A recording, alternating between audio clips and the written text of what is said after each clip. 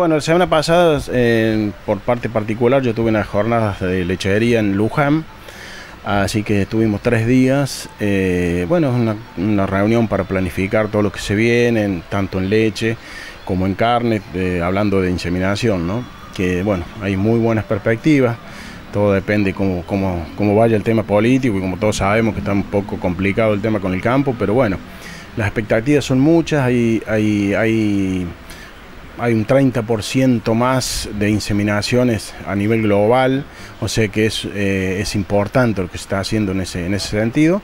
Y bueno, nuestro país no está fuera de eso, estamos, estamos con un rodeo de, de vacas de cría y vacas de tambo de suma importancia.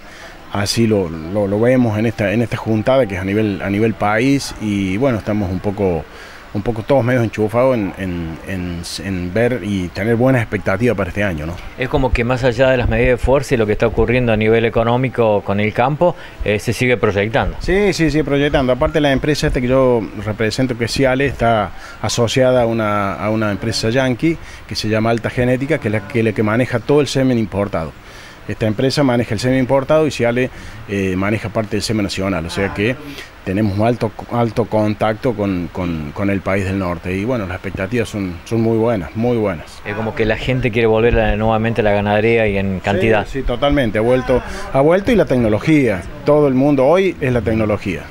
Eh, tanto, tanto a nivel profesional como a nivel de comunicación, eh, todo, lo, todo lo que es este, publicidad y llegada al productor, eh, bueno, te imaginas lo que hay, eh, todo, todo vía tecnología, es increíble y es como dicen, ¿viste? te tenés que subir al barco, si no te quedas en la orilla, es así.